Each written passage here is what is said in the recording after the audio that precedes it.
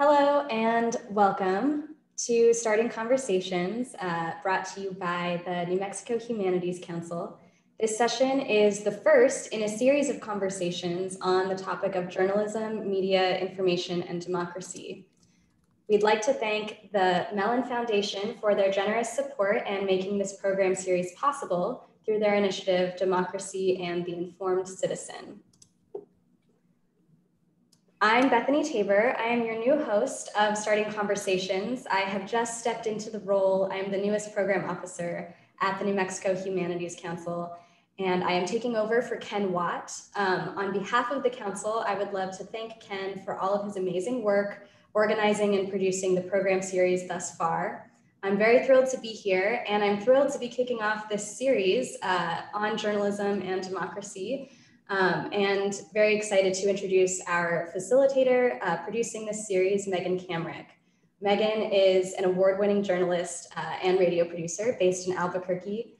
She's the host of All Things Considered on KUNM FM in Albuquerque. She's also a former TED speaker and a current TED speaker coach. She's prepared a great program for us today with some amazing panelists. And I will let you take it from here, Megan. Thank you so much, Bethany. We decided to make this first panel about media literacy because we're awash in information these days that may or may not be coming from legitimate news sources. And we saw how social media was weaponized in the 2016 election to foster false information. Unfortunately, it's gotten even worse since then. So today we wanted to have a conversation about how to evaluate information sources because right now we all have the power to amplify things that might be totally accurate, or I'm sorry, might not be totally accurate or even false through our own social media channels. So we have some great New Mexico journalists here, as well as experts on media literacy, and we'll have a list of resources as well online for viewers to access. We do want to start out with a bit of fun, though. Uh, Pamela Pereyra is the uh, executive director of and media literacy educator for media uh, media savvy citizens and she's the mother of a middle school aged uh, kids in taos so she's very adept at teaching media literacy. She's the founder and director of media savvy citizens. It facilitates understanding positive participation and meaningful media interaction for new mexico listeners and we also have senior producer at Native America Calling, Monica Braine. She is Assiniboine and Hunkpapa Lakota. She began her career in journalism with an internship at her tribal newspaper, studied filmmaking at Antioch College, and she has a master's degree in education. She worked at the Smithsonian National Museum of American and Indian, the Navy Museum, and National Geographic. And we're so happy to have her here in New Mexico with Native America Calling. They are going to do a little role play for us to show us how media literacy can work. So let them take it away and we'll have a conversation. Are you ready? Yeah. Hey, Pamela, how are you? Hi, nice to hear from you, Monica. I know I haven't talked to you in forever. I have to tell you, I'm going to hold on, I'm going to send it to you. I found this video on YouTube that says, you're not going to believe this Bill and Melinda Gates are clones. Clones. Where I couldn't you, believe it. Where did you get this? YouTube. YouTube. It's right there on YouTube. So basically, okay, here's I know it sounds a little bit crazy, but there was like evidence of the fact that they are like the Bill and Melinda Gates that you see um, you know, giving interviews and stuff like that. That's not the real Bill and Melinda Gates. And um, one of the things they did was uh, analyze an interview, and Bill Gates, he blinked twice. That's it, the whole interview. So clones aren't you know like human clones they're not as good as like the originals and so they don't blink as much and um yeah i couldn't believe it and it's like what is the point of that who who is it on YouTube? YouTube. It was on YouTube. But, do you know who who put the information out? I don't know. Let me send you the video. Well, I can't find it right now, but um yeah, I I don't know if you know someone's account or something. So, I mean, you wouldn't put something up that I mean Was there evidence that they are clones? Yeah, I mean the whole thing about blinking and stuff like that, and then they had some like other scientific experts on who um, were saying, you know, what they thought was the reality of of why they're clones. So, do you know if other humans have been cloned? Is that what these scientific supposed these experts say? Um, well, I know they've cloned that sheep, right? There was a sheep that got cloned. Um, I don't know. Maybe these are the first humans that were cloned. Well, what I've read is that human, like that human cloning hasn't really happened yet. So Google if human cloning actually worked and make sure it's a reliable source. It has to be a subject matter expert. It can't just be like some random blogger, you know. Okay, let me hold on, hold on. Let me let me Google this. Okay. Are human clones real? Um, okay. So the first thing that's showing up is the National Institute of Health and Human Genome Research, uh, National Institute of Health Human Genome Research Project. Human clones are not have not happened. Okay, okay, but see, this is the government, and uh, I have to tell you, I don't really believe everything the government tells me. I mean, first it's like wear the mask, don't wear the mask, wear the masks. I'm, Okay, well, you know, if you were right, this is how I would expect this to happen, right? This is how it did happen. So remember last year that mayor in your in your town got caught embezzling money? oh yeah. And then there was that lady, that Margaret lady, Margaret she is called- so nosy. but she called So Action 7 News and they looked into it. And then people found out that he was stealing all kinds of money. And then because people can't keep secrets, Yep. right? So It's people true. cannot keep It's true. Margaret tells me stuff all the time about what's going on up there. I and uh, she she kind of brought him down, to be perfectly honest, which was good because he stole a lot of money from our town. Yeah, well, people can't keep secrets. So if human, cl- you know, we're talking about human cloning. I'm just saying that you should do a little bit more research before you take the word here. Hmm. Okay, well, I'm just saying you should watch the video that I just sent to you, and maybe we can agree to disagree. How's your mom? End scene. Oh, and uh, I understand, Monica, that this is an actual thing that you found. So this is um this is based on a conversation that someone did have with someone else um uh about uh whether or not you know they they believe they had saw a video and believed that you know humans had been cloned and that Bill and Melinda Gates were cloned. So, um, Pamela, how did this represent a way to put media literacy practices into action? Right, you know, with people we interact with, our friends. Right. And well, specifically, like we're talking about conspiracy theory, right? Which is at the most extreme level, there's no trust in Mhm. Um, anything but the echo chamber that's happening and that we know happens out there, which is a small percentage of people, really. But it's like, how do you handle the situation, right? You ask them, like, where they got their information. Is it a reliable source? But not in a confrontational way, right? Because then you're when it's confrontational, then it alienates people. Um, Google it. Make sure that you're, you know, looking, you know, know understand where it's coming from. Um, but so I think that's those are the you know those are the skills, right? Those are the things that like a media literacy person would be asking themselves if they were looking at a video about human cloning. Is it reliable? Where's it coming from? Should I look at other sources to see if this information can be verified? And Monica, you regularly have done shows on Native America Calling focused on media literacy or news literacy. What are some of the issues that you find uh, you need to keep coming back to with your audience? And what are some new ones that have been popping up? Yeah, so um the regular issues that we need to keep coming back to are like how do you get reliable sources of information um, when you're sharing things online where how do you know that this is um, true or that this is a reliable. Um, and some new things. And then, so one thing we focus a lot on, um, which is in the realm of media literacy, are scams.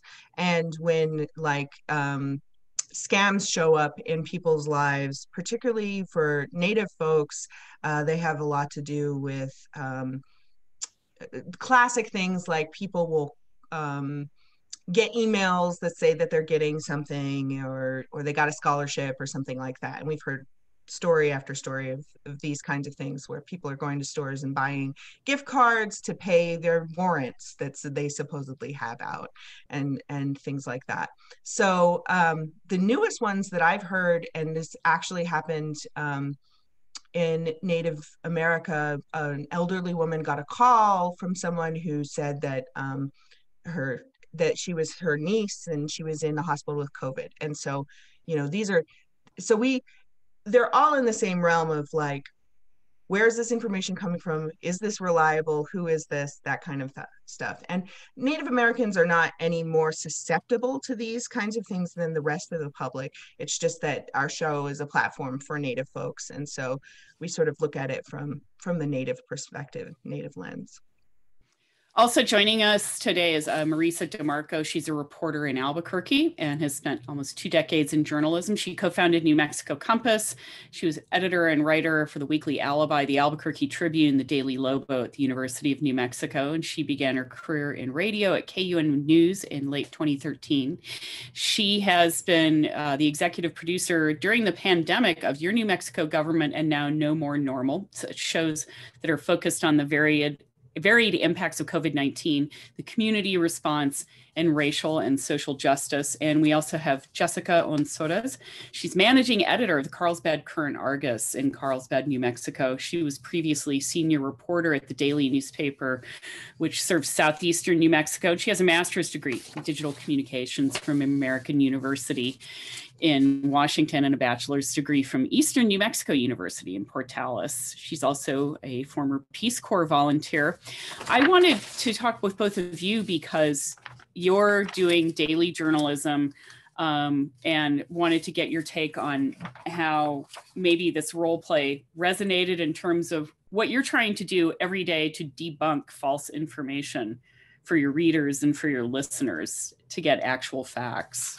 And Marisa, if you want to jump in, I know you just did a show on this on KU. Yeah, so we did um we did a show uh, about misinformation and disinformation that's spreading in election season that's aimed at suppressing voter turnout. And so this can be all the way from people saying the elect that election day is the day after election day, right? So it can be really simple information that they're trying to spread, um, or it can be other stuff from what we heard from our guests around like your vote doesn't really matter. Um, and there's also a lot of discussion about on on that episode um, about it's called the disinformation age. If you want to look up "No More Normal," the disinformation age. Um, we'll put a link to it on the resource list. Yeah, but people were really talking about how this spread of false information in an effort to suppress the vote is targeting uh, brown and black people and indigenous people in the United States, um, especially, right? Um, and so there are these efforts, these super cool efforts to uh, push back on that in a, in a really specific way. Um, so th- that's really important. And then I would just say that the role play um, between Monica and Pamela was very familiar to me in terms of, you know, speaking to my own friends and family who are like, you have to cover this. Somebody's a clone or so, you know what i mean? And it's just like no you guys let's talk let's talk it through right? Um, so yeah i think it, it did resonate. I'm sure it resonates with a lot of people who are considering this conversation right now. Um, really cool resource from the albuquerque public library. We had one of the librarians on our show and they made this guide like years ago about how to tell fake news and real news. Um, and I sent along a link to that as well, so to be on the resource page. But the librarian we spoke with, Ben, was saying that most of the resources at the time when he made this guide felt very academic, felt very like collegiate. So he tried to make like a really easy to parse resource for telling um, real news and fake news, especially as you know there's allegations of from the president and from other politicians saying that our real news is fake news when they don't like what's being reported, right? So being able to parse information and determine what reporters, what outlets you trust for information, knowing always to check and then also where to check.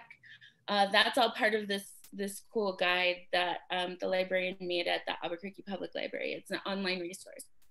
I love librarians. They just don't get enough shout outs right? for the services they provide. Um, you know, yeah. yeah. So that's awesome. Yeah, I did put that in the resource list. And Jessica, you're in southern New Mexico. Yes. And you are doing uh, the frontline work of community newspapers down there, which has been gutted nationwide. I'm just curious how you are managing to do this. You have reduced staff, furloughed mm-hmm. staff. Um, you cover this really important, huge swath of the state. So how are you tackling some of this? What did, did this resonate for you and like most definitely. I'm just going to say like with marisa this conversation sounded very familiar. I have it with friends and family all the time. You know i'll come over for coffee and they'll be like did you see that they said da da da da da da? And my first question is always who is they? Like who are they? Do you know where you're getting your news from? Um, have you um, gone back and seen if they're a reliable source or you know is this just something that you heard from a daisy chain um, of gossip throughout the community. And I think that when we try to tackle um, this idea of misinformation or disinformation, we always do it in in person conversations as well. The beauty of community news is that we're able to go out into those neighborhoods, um, talk to our um, our readers and talk to our subscribers and really have those one-on-one conversations about where are you getting your news from right? Is it a reliable source? Why do you why do you trust it? Um, why do you trust what they're saying rather than say one of our well-known television or newspapers?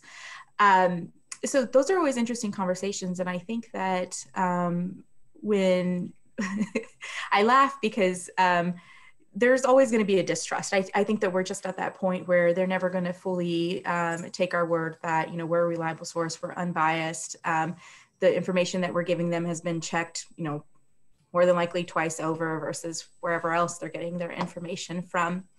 Um, but we're seeing it a lot more as community reporters on the bigger issues that have effect on our communities. You know, we see it with elections now. We saw it with the census when the census was underway. There was a lot of misinformation um, happening about um, what questions were on there. Um, and the impact that that has is huge. Um, our, our number of responses, just for the census, for example, um, were way down because people were apprehensive. They weren't certain what was going on. There was a lot of confusion. And as much as we tried to shed light on that, um, sometimes the message just doesn't get through or, or we're too late to um, try to you know backpedal some of that information but as community reporters i think our our best bet is just to try to identify when some of um, when some of our community is um, undergoing confusion or when there are topics that they need clarity on, um, we tackle those as they come along. And I think, fr- from my perspective as an editor, one of our primary jobs these days is to um, confront anytime there is fake news, you know, circulating throughout the area, or there is a topic that um, has been labeled fake news. And sad to say that sometimes that comes from our community leaders themselves, people that you would think were reliable sources. Um, sometimes that happens too. So you've just got to be very vigilant um, about what's out there and be very smart about trying to, um, as I think Pamela said, you're not, you know, you're not addressing it in an aggressive way, but you're trying to have a civil conversation um, and put facts out there. I wanted, oh, go ahead yeah. I'm sorry, I just want to piggyback a little bit off of what Jessica's saying, like um, the question of who's they, right? I mean, the thing about uh, journalistic ethics is that you should always see my name on top of stuff that I wrote, right?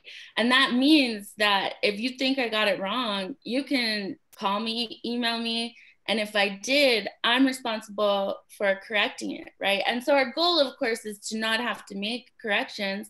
But I think an important thing in the real news, fake news conversation is that I'm a real person in this community trying to vet information for you, trying to figure out who's cool to talk to, reading through documents, waiting for meetings, you know, and fact checking things. And that doesn't mean I get it 100% perfect, but you know me and you can find me if I mess it up, right? And so I, I just feel like that's an important part of the, the relationship between media ethics and real journalism versus the fake news conversation. And so it is kind of important that you start to find voices in your community that you trust to be trying to do this work for you. And that's one of the advantages I would think that Jessica has is that, you know, working in her community, folks know her and she's built a relationship with that community, right? You should be able to find that in your in your community regardless of whether you live in a bigger city or a smaller town or whatever, right? So it's harder and harder these days though, right? True. I want to just add to that and say that I think probably the most important part of, of what both Marisa and I are saying is this idea of trust, right? You have to have a level of trust from your readership, from your subscribers, even those outside of your sphere where you're covering.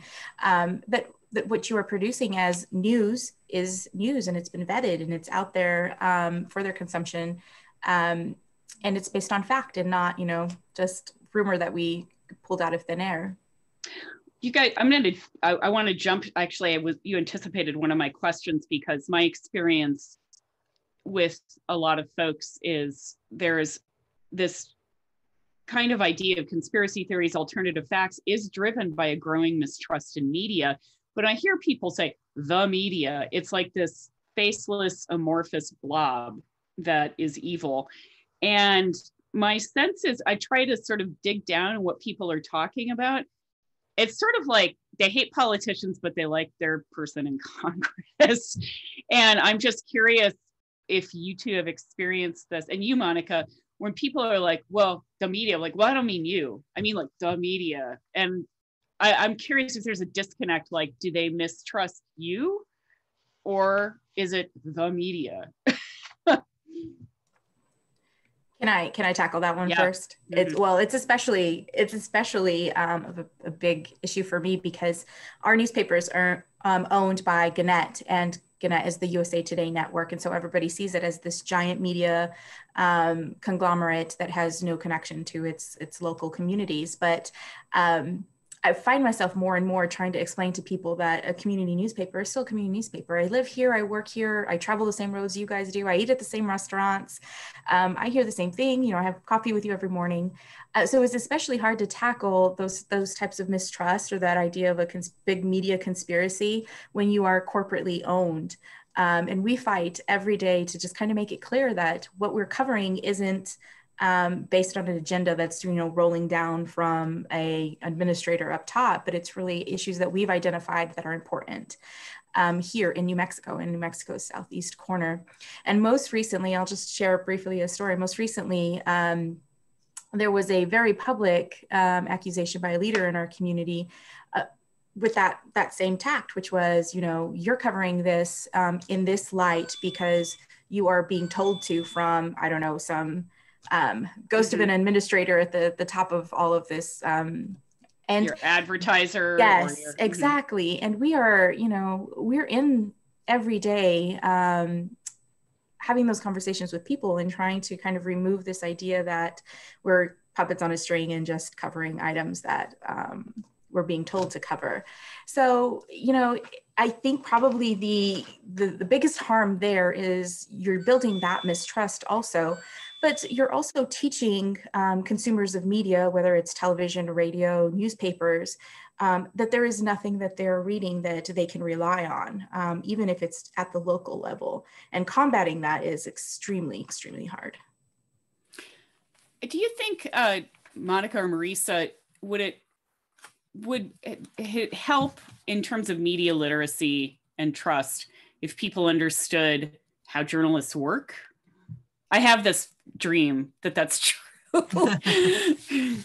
yeah, I, often I think like um, I, maybe if I just like routinely every day gave a class online about like how journalism works or what journalism what journalism is because i find myself marisa referred to this you know people call and they're like you got to do this story and it's like well we're a national talk show and you're you know your child custody case is is not news sorry you know and then it turns into this whole like well you're against me kind of thing and it's like i really sympathize with you but let me explain how this works i find that um show you know native america calling has been on the air 25 years and um, it was really created as a response to the media and uh, total. Absence of native voices and faces in mainstream media, which is still pretty much the case today. And um, and so a lot of our listeners are just are just grateful for um, to have us, you know, although we get our own uh, fair share of criticism as well. and I just so I I want to add that I think um, you know, when you said people hate the media and it's just like a faceless blob, I don't know that I think it is just a faceless blob. I think sometimes they do have like one entity or one person in mind, right? Maybe it's hmm. CNN, maybe it's a, a journalist who said something racist on the air. Like it could be a whole bunch of different mm-hmm. reasons, but it's like one thing happens and when it's not handled correctly, when people don't apologize when there's not accountability um, you know it'll turn people off on the whole media right? Um, so it's like really important that we're all vigilant um, to hold one another accountable to hold ourselves accountable but to hold each other accountable too. Uh, and it's you know it's not a painless process but it's a, like the one of the most important things that as a journalist i feel like we can be doing right now. Um, i also really like the idea about having the conversations directly like as journalists, we've been trained very much to keep ourselves out of the stories um, and to not to not narrate necessarily from our own perspective. But I feel like ha- opening up the conversation about like how we do our work, what our ethics are, what principles we follow, what our goals and intentions are uh, with our coverage, I think really goes a long way in building trust. And I've found that in my own work, especially in the pandemic, right? Um, and then I would also just say that when we say that there's distrust of media, I feel like there's multiple kinds of distrust and reasons, and they can't all be tackled in the same way. Like on some level, some people distrust media because they're just tired of hearing horrible, scary news. Like they're tired of getting a disorganized pile of bad news on the front page, and so they just don't want it to be true anymore. And so they're looking for a reason to kind of write us off, right?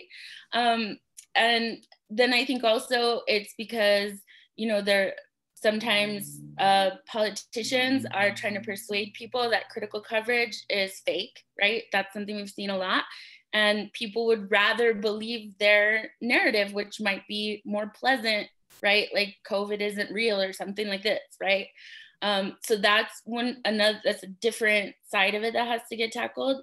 But additionally, I think um, news media has a long problem. We, we did a show about this on KUNM about how the demographics of newsrooms are so white and so male that there's a distrust for that. It's like worse than any other industry in the US. The numbers are really surprising and, and bad, right?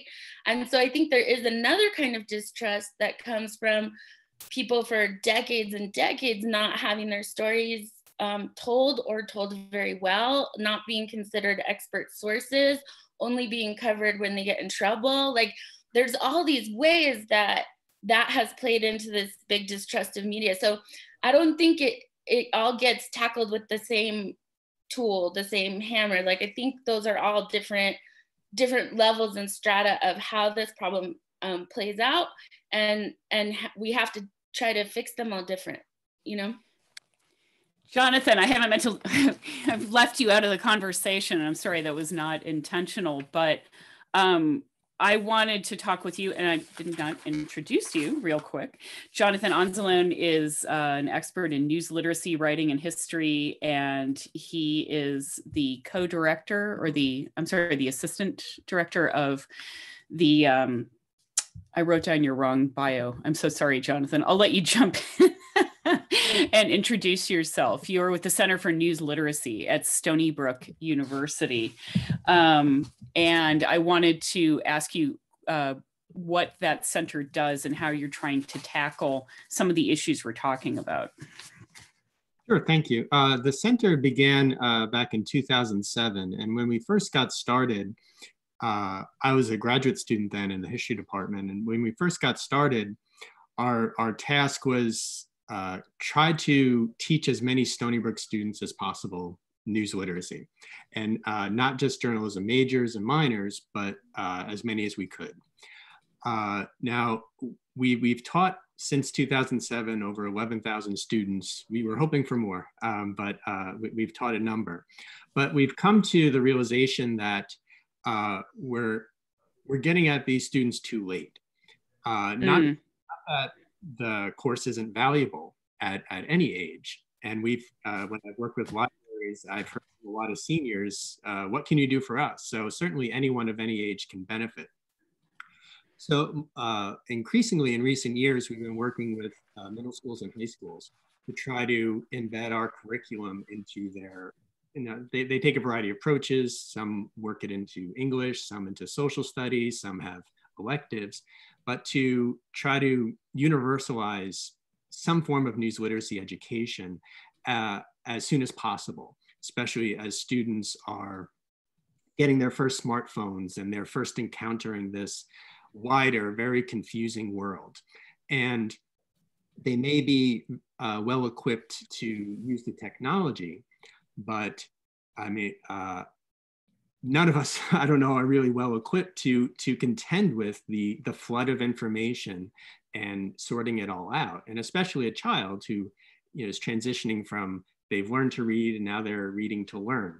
Um, and the and so trying to get them up to speed on the, the different varieties of information and to kind of empower them as even if they're 11 12 13 they can they still have responsibilities as citizens as news consumers as contributors to our shared public health as we're and that that certainly that's hitting home right now um, uh, so we're trying to equip uh, uh, teachers at the middle school and high school level to uh, empower their students to be uh, to be news literate because we think that it really has to be habitual. Uh, the kinds of questions that um, uh, your, your other guests have been talking about and the challenges and the, and, the, and the approaches to meeting those challenges really have to be habitual where automatically someone's saying, wait a second, that looks fishy.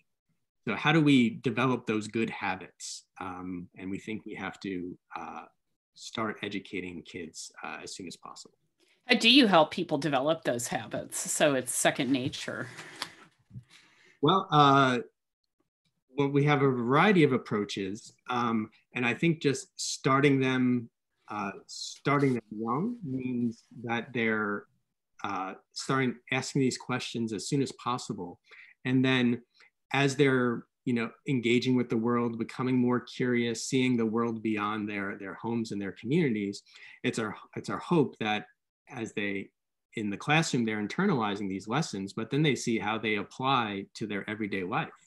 And hopefully, if they see, wow, I just learned something, or I I, I, corrected my grandparent and they, they, they thanked me for it, you know, getting that kind of positive reinforcement. Or I shared a story that I had checked myself and others appreciated that. You know, that kind of positive reinforcement of being a, uh, a productive contributor to our information environment, we hope um, can kind of uh, create those good habits. What are some of the most common forms of false information right now? Um, uh, There's so many. it's, it's hard to pick. Um, uh, because you know pick your platform and your your it's it's a different poison uh, mm. um, now uh, in terms of what uh, of course election season and some of uh, uh, your other guests discussed that issue uh, we prepared a whole presentation about covid-19 and all the misinformation surrounding that um, so those are, are, are major concerns uh, for, for my students, for all, all, all, the people we work with. And I, I have some personal experience with this as well, where my father forwarded me an email. He's not on social media, he's one of those email forwarding people. And it claimed to be uh, advice from Japanese doctors. And the advice was, and the way to fend off COVID 19 was to drink water every 15 minutes. And the, the rationale was that uh, it'll wash COVID 19 from your throat down to your stomach, and your stomach acids will kill the virus and it won't get into your lungs. And, you know, as soon as I saw that, I'm like, no. um, and so uh, I, j- just because, you know, as the opening uh, role play showed, we, you have to you know, approach this gently and, and, and, and feel like, you know, you're, you're trying to, and which you are, you're trying to help uh, the person you're conversing with. And so I said, oh, oh, be careful with this. I've seen this in these contexts. I shared them um, with my father a couple of links to fact checking sites. Uh, look, somebody also claimed to be from Stanford University and they offered the same advice. Now, why are they claiming to be different people offering the same advice? You know, so there, there's something wrong here. So just be careful. Don't don't feel as if you're because you're drinking all the time you're you're protected from this virus. You'll just be in the bathroom all the time if if you take that advice and you're not actually uh, protecting yourself. Uh, so it can come. In, there's so many varieties, but I, I find that the the the most effective uh, misleading information is it, it's it's the simplest. Hmm. It's a picture that's five years old, but it's being shared now and therefore it, it's taken out of context and therefore has this great power to mislead. When there was a fire at Notre Dame Cathedral, uh, a story began circulating of a man who was arrested near the cathedral with bomb making materials in his car. The story was from five years before the fire. Uh, or, uh, and we're seeing this in the election of videos of the candidate speaking with just a short clip and then just share that short clip it looks like they're stumbling over their words they don't know what they're talking about and that that can have an impact uh, so uh, so I, that's what I fear the most is that we're, we're not in the habit of reading reading beyond the headline. We're not in the habit of just pausing for a second and saying, wait a second, who's this from? Who says Bill Gates is a clone? Um, it didn't come from YouTube. It didn't come from the internet. It didn't come from Facebook. Somebody posted it there. Those are platforms. And so uh, I think by showing our students and others how the questions we're asking are very simple, and often in one or two steps, you can get at better information, you can get at the truth, you can debunk something very quickly. Uh, that, I, it's my hope that that has a kind of empowering effect that look, they, they tried to pull one over on you and they failed. You, you got the better of them. Pamela, I wanted to ask you what are some alarm bells that ring in your head if you're reading or seeing problematic content? Um, yeah. Jonathan um, touched on them, but yeah, um, maybe I could share my screen um, yeah. of, of some a project that I'm working on. And um, this is just really simple. It's a simple way to um, Oh, it's a little big, but can yeah, everybody see that? Fine. Yeah, it's great. Yeah. Mm-hmm. So these are just like a few different tips, right? So these are like just warning signs of, you know, does the headline and the content match? Sometimes they would be advertorials. In fact, I was just doing a workshop with some high school students and I sent them a, a, a an ad that was like President Trump. It was an ad, but it was written like a like a newspaper story. So it's sponsored content, right? And it said advertorial at the top. But students, this high school students didn't really know what an advertorial was. So the story was President Trump signed a bill um, on something and had nothing to do with the story, which was about they were trying to sell a watch. And so it was like a health watch. And so it was an ad about selling this health watch, but it had nothing to do with like the bill, which had something to do with um, like health and hearing. And so it was completely disconnected. And so that was where the headlines and the content didn't match, right? It was also unbelievable. Um, there was a date. Sometimes like a date is missing or old, or a picture is is you know old. Like Jonathan was saying, um, different URLs, which um, just need to be checked. Like, is this really ABC News or is it like something that looks like ABC News?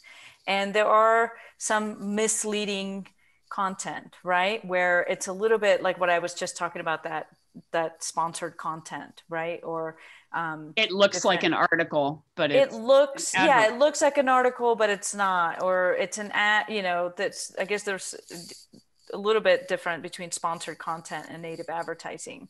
And you all can just go and look up through your search engines the difference between those. Because I don't want to take too much time here.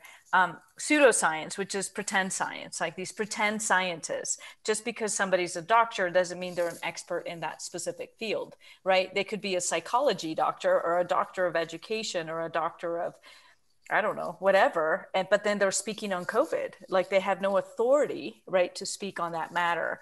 And then therefore there's you know kind of science. And so we, you know, we also need to strengthen our science literacy for people to be to understand science better and understand the difference between, you know, science and pseudoscience. Um, sometimes information is taken out of context. Um, an, an, example recently is. Um, where Dr. Fauci had was in a political ad saying something and it actually didn't they didn't have his permission from what i understand him say and he was saying something about speaking about health and not specific to whatever that his quote was taking out of context and put into a different context and it's like people curate right information. They take different things and curate it into and create a narrative that is presented as a reality which is actually not reality. So um, these are some things that we you know and also like sometimes there's false information with facts. And so when we see the facts it seems like it's credible but then it might not be.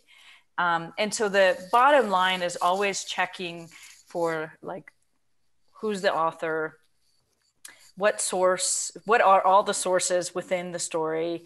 Um, what is the evidence? Is it credible? Is it not? And that really gives you an idea by, looking outside and doing a little bit of research as far as like what is reliable, what's credible. Obviously, there's a lot more, like, is there transparency? There's a lot more to look at, but this is like a good bottom line.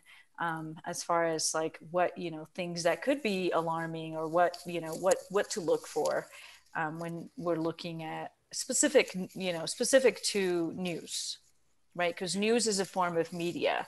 And so media literacy looks at all media um, and looks at it for, with a critical component. Yet there's also the making right? But there's critical in that you're asking questions. Critical is not like a bad thing. It's not even it shouldn't be. It's really curiosity and inquiry, right? We're asking questions of what is presented at us, whether it's a meme or whether it's a YouTube video. And there's, you know, something in our brains that wants us to believe that what we're seeing is actually true. Seeing is believing, but seeing is not necessarily believing just because it was on the internet or somebody wrote it or somebody said that they're a Japanese doctor doesn't necessarily make it true, doesn't make it so. Um, but really, from just while I have the platform, I'll just say like it's important for uh, for for this kind of information. We and like Jonathan was saying, we have to work at different angles, right? We have to talk to the parents, and we have to talk to the teachers, and we have to get them to become and embody media literacy, and you know that then they could facilitate that. We have to work with the students and start at an early age and start with like some basic things and build up. And so it's working at, at different angles. I'm also the chair of um, Media Literacy Now, the chair for New Mexico Media Literacy Now, the chapter chair for the state.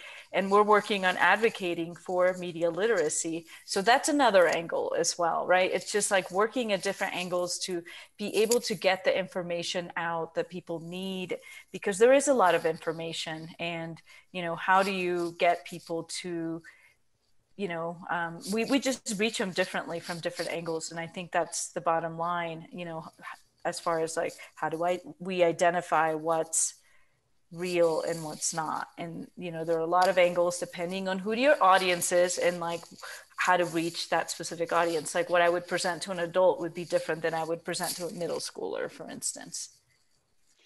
One thing I was thinking, Jonathan, that would apply to everyone who's engaged in any kind of social media, which is, you know, middle school, younger students, all the way up to adults and people our age, um, is now that we we're all producers of content in a way, not just journalists like me and Monica and Marisa and Jessica, because we're on social media.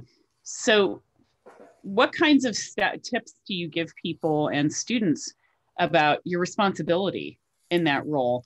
I have been as guilty as anyone of seeing something like that's outrageous. I'm going to post this Twitter and Facebook, and then realizing if it's not outright false, it's not quite true, or it's an evolving news story, and further information down the road maybe tempers what we thought was an outrageous situation, and maybe it's more nuanced.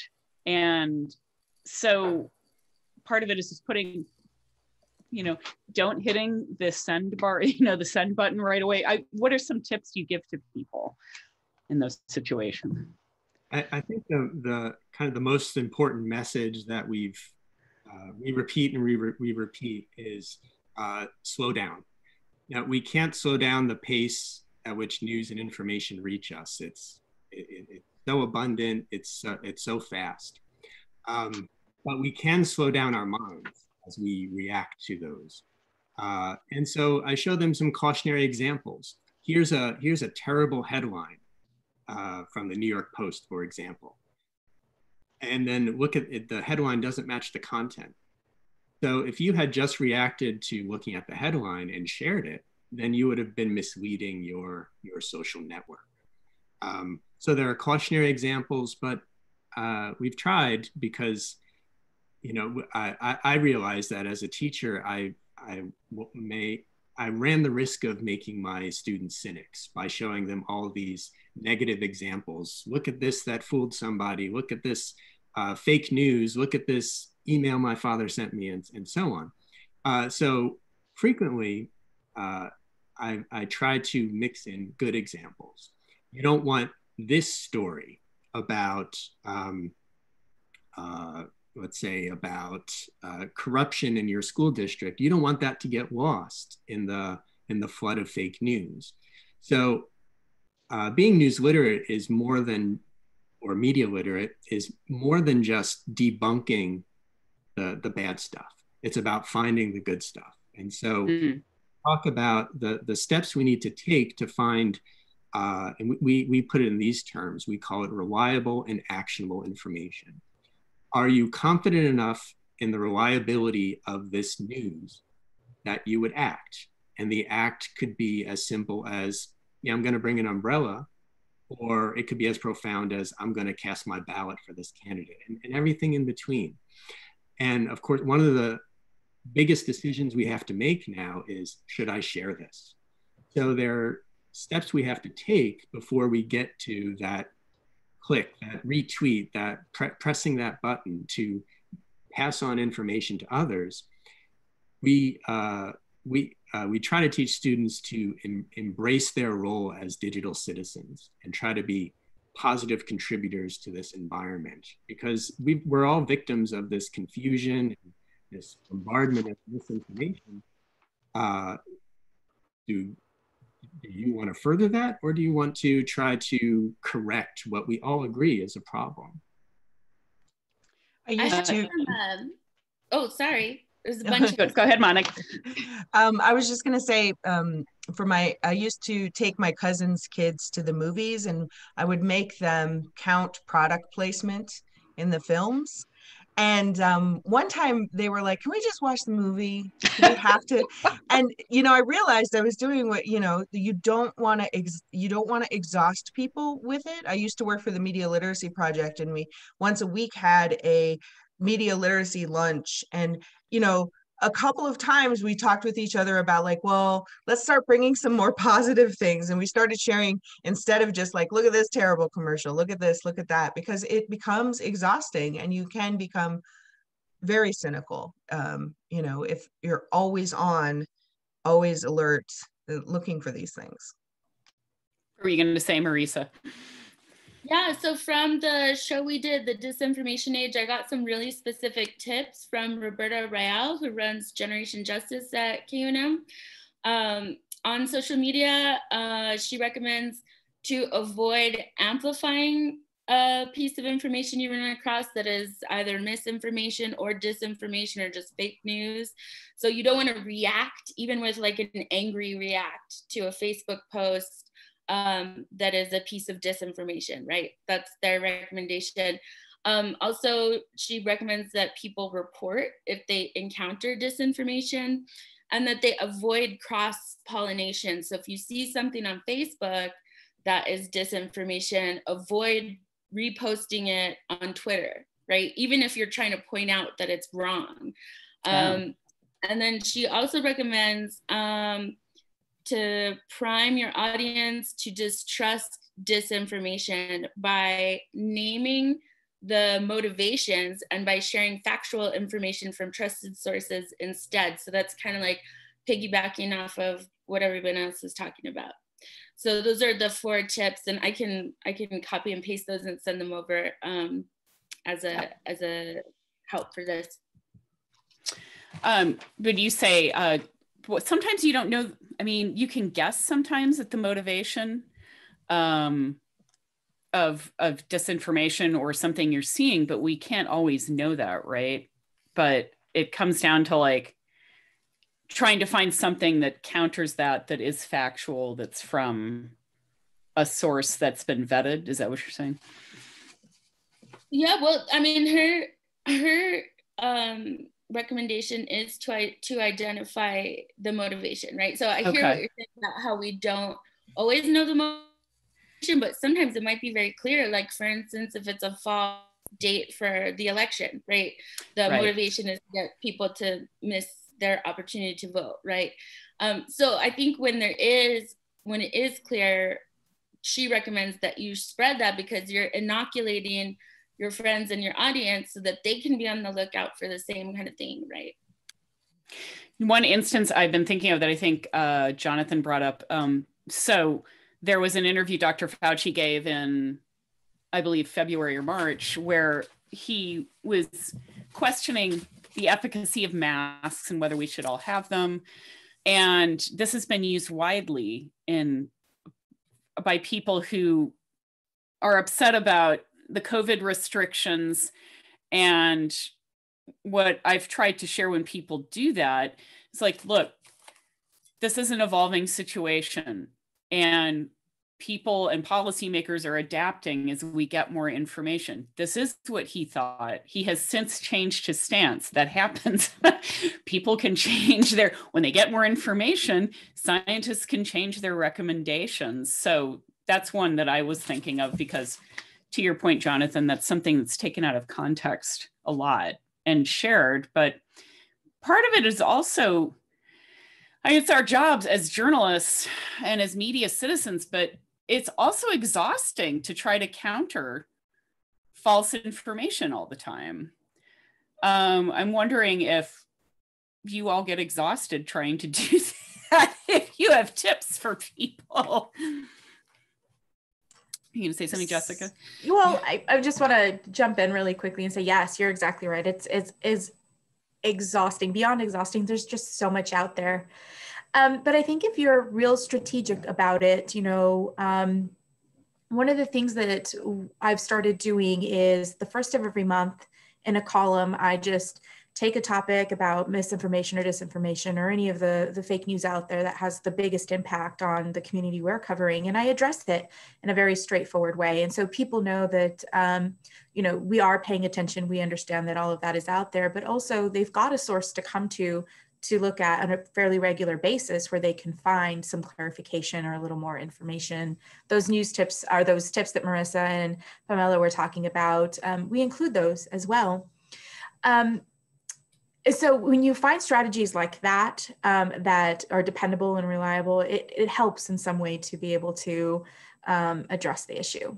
That's probably the best way that I've found to do to um, connect with my audience about this issue um, and also give them an avenue to ask questions. So I make sure that it's always included in email. Hey, you've got a question or if you've got a doubt about something you're reading or seeing, shoot me an email, send me a text. Here's my number. Um, and again, just that, you know, face to face touch, um, I think works well.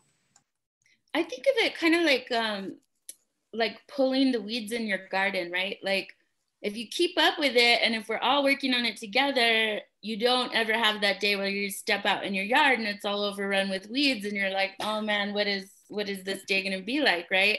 So it's kind of like if everybody's working on it collectively, we'll see less and less of it floating around. And if we can root out those sources and you know hopefully figure out a way to flag them for one another, um, then then it's like we're you're doing that kind of daily weeding of your yard in the summer versus the once a month nightmare weeding, right? I love that analogy. It's That's a great, a great analogy. analogy.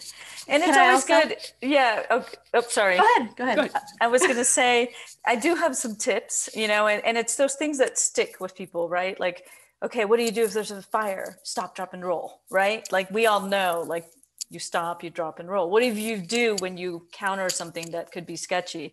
Stop, check, decide, right? So we because there's there's that point where and this is the emotional check. We all have to continue to do and that's another tip. The emotional check. Like eh, we if we get a gut reaction like oh i just want to send this out like i can't believe this is happening and that's when people press that share button. But it's even and that's part of that slow down that jonathan was talking about which is like where am i emotionally with this? Is this like am i sharing out of my gut and reaction instinct? That's when i need to slow down. That's when i need to check you know before i start spreading this like wildfire right? So um, stop check decide uh, we had one. Question. Go ahead, Jonathan. Um, we start our uh, your, our semester with uh, with a, an assignment where we ask students to try to go 24 hours without uh, consuming news, turn off turn off their alerts, uh, don't go on social media. Um, we call so it not just news, like everything. Just don't. Yeah, don't, don't check the weather. Um, uh, we call it the news blackout. And now maybe they're all lying to me, but I, I'm I'm, I'm hoping that some of them make a good faith effort to, to complete the assignment. Um, and uh, of course, the, the, uh, the kinds of responses vary by students. Some find it to be a great relief to take a break from the news. Some find it stressful. I mean, I tried the exercise before giving to my students, and I, I, I felt tremendous guilt. like, what, what? I, I, should know this. What am I missing? But the, the emotional uh, rea reactions can vary. Uh, but many of them recognize, uh, and it's, it's a point when we discuss the assignment after they try it, it's a point I try to emphasize, but they often get there on their own, is that they're news consumers whether they know it or not. They're consuming information whether they're aware of it or not. It's just passive. And so it's it's seeping in somehow. They're they're learning new things, but not sure where it comes from. And so my message at the beginning of a semester is, okay, we, you just realized that you are consuming news. It's all around us. We can't really avoid it. So why not choose the active option instead of being a passive consumer? Let's be an active consumer. Yeah, take breaks from time to time for your mental health. I wish I could um, uh, take those breaks and, but uh, the rewards of keeping up with the news and getting that reliable information.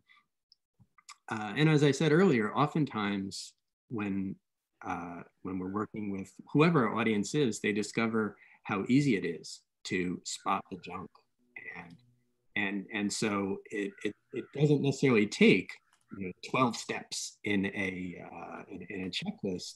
Sometimes it's just one step, or sometimes it could be just well that i'm not sure about that. I'll just i'll just let it be instead of passing it on to others.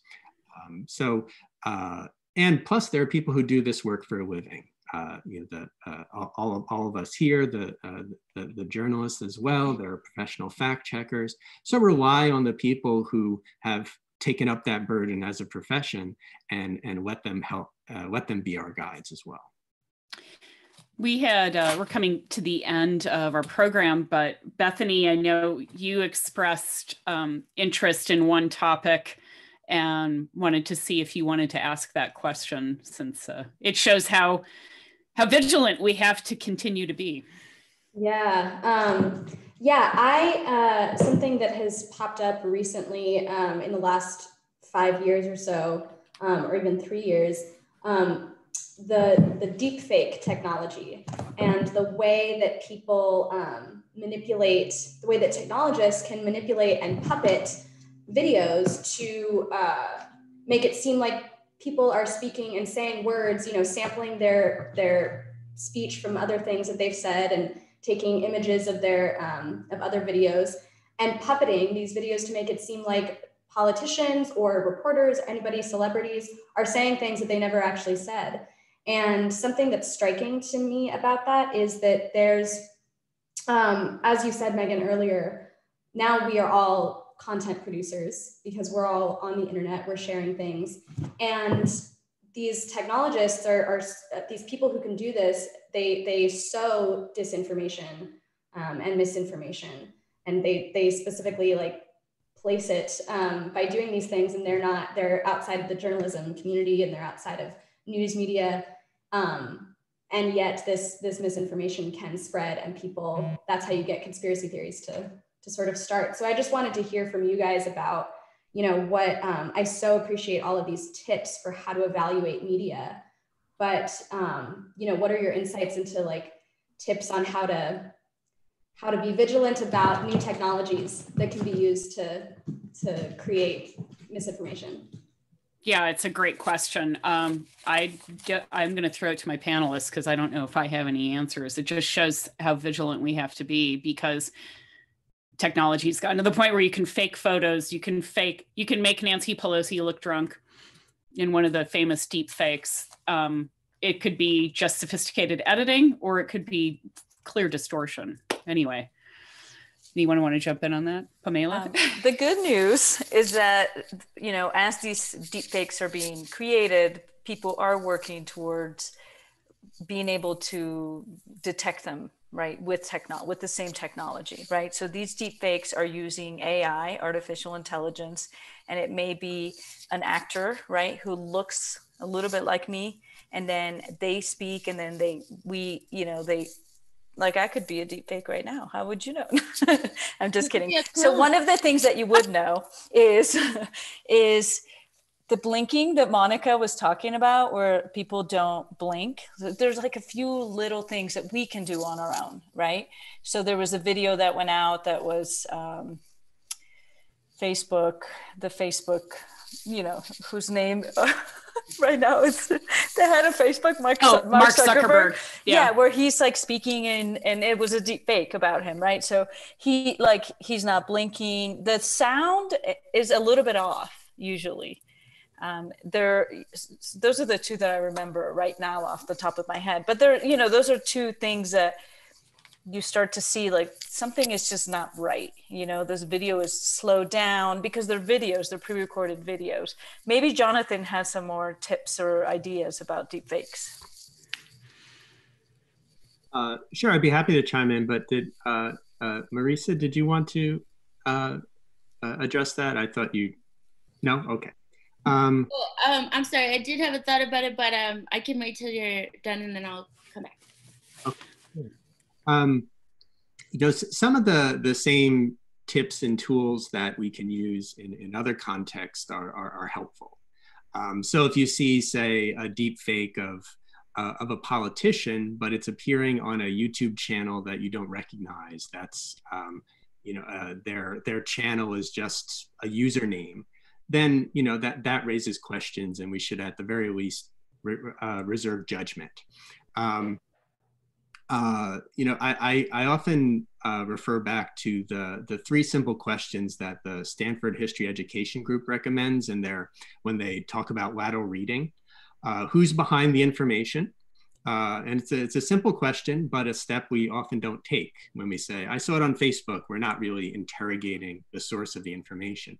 What's the evidence? Now, he, that with deepfakes, it gets tricky there because the evidence has been manipulated. So it looks like it looks like may look like an authentic image or an authentic uh, video.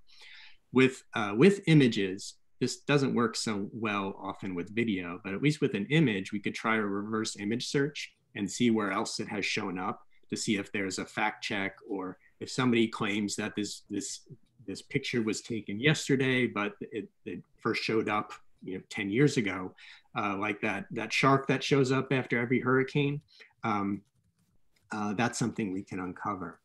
And then the third step i think will be very important uh, here as well is what are other sources saying? Uh, have other fact checkers weighed in? Has anyone raised doubts about this? Especially if somebody is a, a regular news consumer and they've identified a few outlets that they trust then they can turn to those and see if they've weighed in on this video that uh, may a source of confusion. I will also put in, there's a couple good fact checking sources, uh, PolitiFact and Snopes, which started as this funny site to check urban legends and now has become this very, very important fact checking site. Anyway, Marisa, what were you going to say?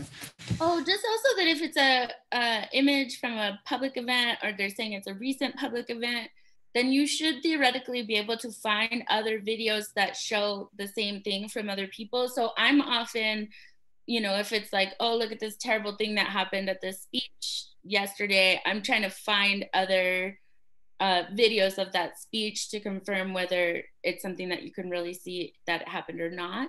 So that, and that's not 100% foolproof, right? Because I think we have had a lot of really important firsthand videos emerge, of course, of like police violence. You know, there's all these really important firsthand accounts that um, maybe would only have one source of video. But I would say, like, if especially if it's like a celebrity, a public event with a lot of people in the audience, probably you can find it another another way to see um, what really happened. Monica or Jess, any last thoughts? I guess I just want to jump in and say that we were talking about media literacy, but equally as important is social media um, literacy, right? Really understanding the platform where some of these um, deep fakes are disseminated and, and spread. Um, that gives us, you know, immense power to really understand where they're coming from, how they're shooting across the, those networks, and really be able to jump in and, you know, make a complaint or stop them. So it's, you know, for me, it's equally as important to understand, you know, Twitter, Facebook, Instagram, um, any of these social media platforms. I will say an acquaintance of mine did this thing where um, he just reposted something, and I said, "What are your sources on this?" Like, "Oh, I don't know. I'm just I'm just reposting." And I reported it to Facebook. I don't know if he knows that, but I don't know if anything came of it. Anyway, Monica, wanted, do you have anything? Oh, oh sorry. Ahead. I just wanted to clarify.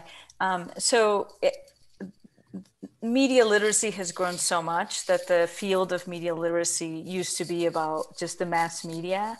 And you know and now well in general the definition for media liter- media right? So media is any form of communication through a medium that is not face to face right? So the radio the computer the phone anything in any platform. So that is media literacy and deconstructing and media literacy will deconstruct or analyze any form of media and social media included. Um, so I just wanted to make that clarification because I think you know this happens often where people have you know because we grew up with media literacy from the 90s right? Or from the olden days of what it was and what it is now. And it's still media literacy is and takes into account all the different technologies and platforms of today and Monica, I wanted to go yeah, to you. Just, Last thought. okay. I just wanted to say that um, the foundation of media literacy is um, crit- building critical thinking skills. And so um, it really has to start with that. And it's something that needs to be pushed for in schools. It needs to focus on um, beyond just learning how to answer questions on the test and things like that. Um, I would venture to say that we are at a critical thinking skills crisis in this country. And um, the work that all of us are doing is um, is critically important um, for changing that. I can't think of a better thought to end on.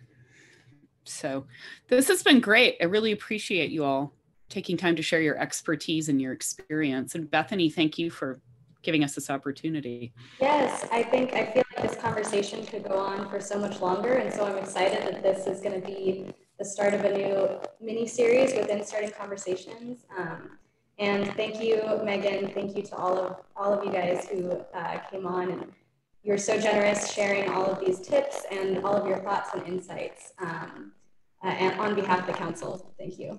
Um, and just to let everybody know, um, linked in the YouTube caption will be um, a resource list with some links provided by all of our speakers today. And uh, you can click on that and these uh, sort of, um, all of these tips will be shared on this YouTube channel. So uh, thank you so much, everyone. And this is Starting Conversations. Bye. Thanks a lot. Appreciate it.